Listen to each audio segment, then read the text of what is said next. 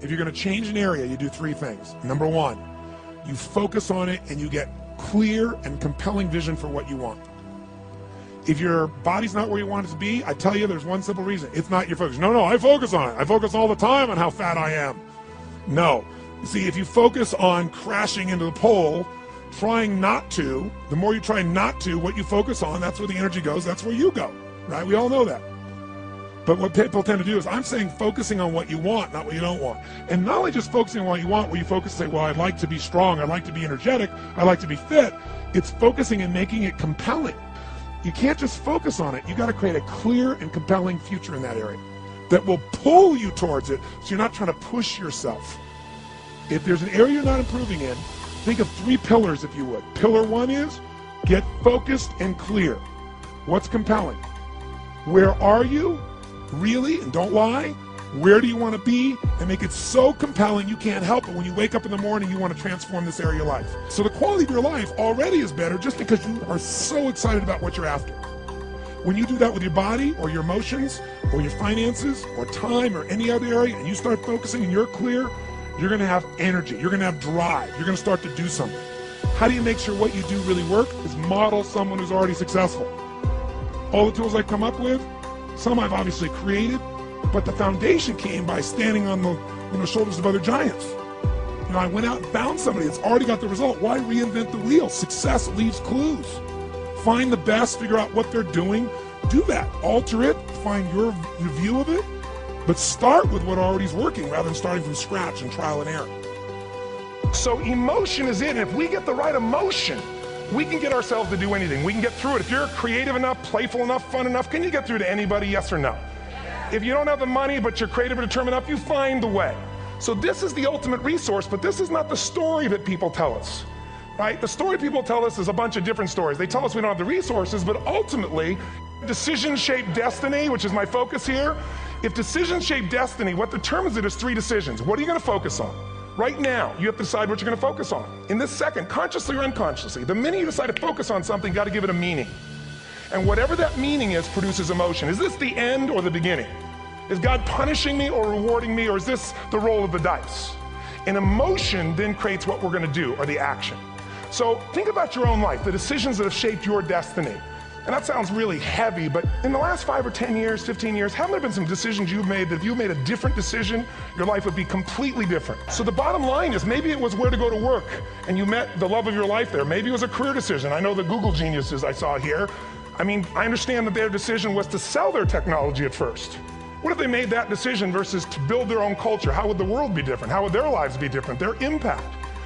The history of our world is these decisions. When a woman stands up and says, No, I won't go to the back of the bus, she didn't just affect her life. That decision shaped our culture. Or someone standing in front of a tank. Psychological strength. That's the difference in human beings that I've seen of the three million I've been around. Because that's about my lab. I've had three million people from 80 different countries that I've had a chance to interact with over the last 29 years. And after a while, patterns become obvious. You see that South America and Africa maybe connect in a certain way, right? Other people say, oh, that sounds ridiculous. It's simple. So, what shapes you? Two invisible forces. Very quickly. One, state. We all have had times. Have you had a time you did something and after you did it, you thought to yourself, I can't believe I said that. I can't believe I did that. It was so stupid. It wasn't your ability, it was your state.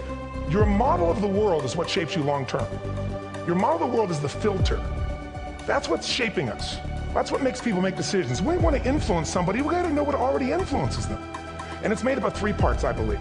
First, what's your target? What are you after? Which I believe it's not your desires. You can get your desires and goals. How many of you got a goal, desire, and thought, is this all there is? How many been there? Say aye. So it's needs we have. I believe there are six human needs. Second, once you know what the target that's driving you is and you uncover it for the truth, you don't form it, you uncover it. Then you find out what's your map. What's the belief systems that are telling you how to get those needs? Some people think the way to get those needs is destroy the world. Some people is to build something, create something, love someone. And then there's the fuel you pick. So very quickly, six needs. Let me tell you what they are. First one, certainty. Now these are not goals or desires, these are universal. Everyone needs certainty that they can avoid pain and at least be comfortable. Now how do you get it? Control everybody, develop a skill, give up, smoke a cigarette? Well, we go for certainty differently. If we get total certainty, we get what? What do you feel if you're certain? You know what's going to happen, when it's going to happen, how it's going to happen. What would you feel? bored out of your mind. So God, in her infinite wisdom, gave us a second human need, which is uncertainty. We need variety. Third human need, critical, significance. We all need to feel important, special, unique. Get it by making more money. You can do it by being more spiritual. You can do it by getting yourself in a situation where you put more tattoos and earrings in places humans don't want to know. Whatever it takes. The fastest way to do this, if you have no background, no culture, no belief in resources or resourcefulness, is violence. If I put a gun to your head and I live in the hood, instantly I'm significant. Zero to 10, how high? 10. How certain am I and you're going to respond to me? 10. Here's what we really need connection and love, fourth need. We all want it. Most people settle for connection because love's too scary. Now, these first four needs, every human finds a way to meet. Even if you lie to yourself, you need to split personalities.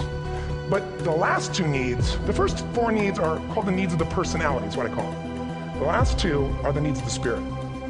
And this is where fulfillment comes. You won't get fulfillment from the first four. You'll figure a way, smoke, drink, do whatever, meet the first four. But the last two, number five, you must grow.